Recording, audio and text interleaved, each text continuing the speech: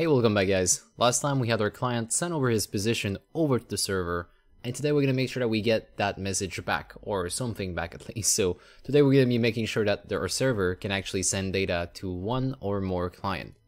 And we'll do it um, in a very easy way. So here you can see that's the code we had for the base server. So we had a flow like this, update message pump into on data. On our client, we had the update message pump. We're gonna need the on data, which we will will create this episode of course. But then we also have the send to server. And that's the one I'd like to copy over for the moment. So we'll take this and we'll move it to the server. And instead of sending to server as a server, we'll send to client. Now uh, you're gonna see that the thing change a little bit here because our connection is a single connection we have on the base client. But here on the server, we have a list of connection. So we'll have to specify it right here, net connection, connection, and now this way it's going to work with a single, um, a single connection. But then just beneath that, I'm going to create another virtual void, um, send to all, or we'd like to call it broadcast. Yeah, broadcast could work. and all we have to do is send the message. So in case you want to send something to everybody, then you can use broadcast. And all we're gonna have to do here is something um, something like this, I believe. So we grab all the connection dot length, so like this, and then we check is that connection created. So if connection at the index i is created, then go ahead and send to client with connections at the index i and of course the message. So we're just reusing this function down here. Uh, so broadcast basically sends the same message back to everybody. Okay, that's all we needed here. So technically at this point we should be able to uh, call this function on the client, uh, no, sorry, on the server to send something to all the clients. Okay. Uh, it should also help us with the timeout issues. So if you're feeling like you're having a timeout, that's only because the client is communicating to the, the server, but the server is not talking back. So the client thinks that he's pinging in, in, in nothing really. Now our next step is going to be to receive that data over to the client. So we'll go where right now we're on the base server. We're going to grab our on data and we're going to move that over to the base client. Right here. And I think this one stays the same. Um, let me just double check here. We have on data. Uh, we have a reader. And yeah, here instead of calling on receive on server, we do received on client. That's all we have to do. And of course, uh, we have to first call this function. This function didn't exist back then, so we have to make sure that we call it in the message pump once we have a on data message like here. We replace that by, of course, on data, and we send it the stream. I think we're good. So if I just take a quick moment to look, eh, yeah, so here we call receive on client instead. Good. So theoretically, everything seems to be there and working.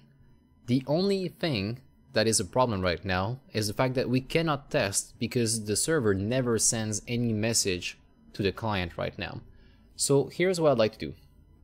I'm going to take um, the, the message for the player position that we send every second and once I receive it on the on the server I'm gonna send it back to everybody as a broadcast so that's what we'll try to do here um, for that to happen however we need to have access to the server so here I am thinking maybe we could turn that into a mono singleton or we could send over a reference to the base server when we call receive on client, um, receive on server. So I'm confusing myself here. Here's what I want to do. I want to go over to on data on the server and then when we do receive on server, I'm just going to send this.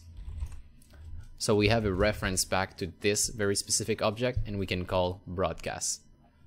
Um, that being said, we're going to have to change our net message to receive base server server just like so so once we have this we can now go under player position and now every every logic related to player position will be tackled directly on this object Do note that the signature changed. We're now receiving the server. And we can say, hey, well, broadcast this message. Actually, do we have another? Yeah, hmm, we're gonna be careful here because we have our own broadcast that we created, but there's also broadcast message because we're under MonoBehaviour right now. I uh, gotta be really careful, just use our own. And I just realized that I don't know why I put a capital here. okay, let me change that. Okay, back on this. We are going to broadcast the message and that message will be... Um, I wonder if we can just do this. We technically could.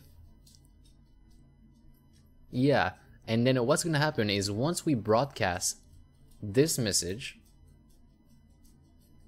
it's to go through the same loop again, but this time on the server. And then instead of calling received on server, since it's the server sending, we're to get it on the client. And then we should receive this down here. That's really what we're looking for. Okay.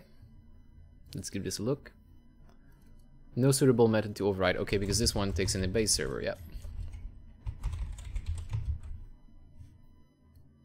It's the same thing here. Actually, I think it would be a, a little bit easier and a little bit more uh, practical to do it on the chat message. So we'll come back and we'll do it after that.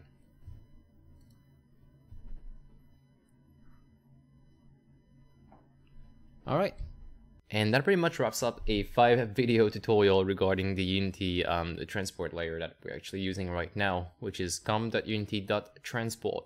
Now do note that I'm recording this segment here, the one with my face on. Um, I'm recording this one one week after everything. So I've been working on the project proactively. I've been working on making it better, but I wasn't recording myself while I was doing that for the sole purpose that I'm doing a lot of trial and error. So um, after one week of intensely working on it, I can say I now have a solution that I like, um, that I think I'm going to be able to scale up. And it's something that uh, is a little bit different from what we saw in those videos, but I do invite you to, to follow me, to subscribe, because I will be releasing another uh, more long length, more talk video in which we are just going to be looking at what I have right now, um, which is a solution that I like. So just to give you a quick hint, it's a event-based solution. So when we receive a message, instead of doing stuff in the uh, receive on server or receive on client, instead we fire an event and anybody who is subscribed, for example, if we do a chat message, then you're on the client. Uh, if you don't want to have the chat message received on your client, you can not subscribe to that event. If you want it, you can subscribe to it. If you have another system in your game that listen for the chat message, both of them can subscribe.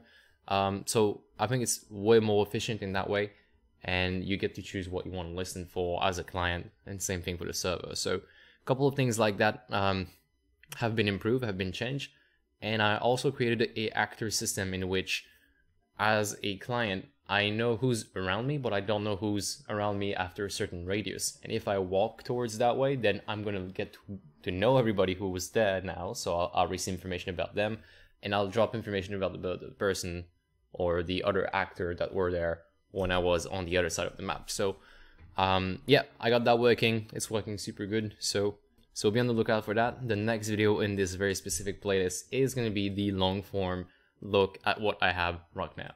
Alright, I think I'm not forgetting anything. That's it. Thank you guys for watching, and I'll see you soon. Cheers.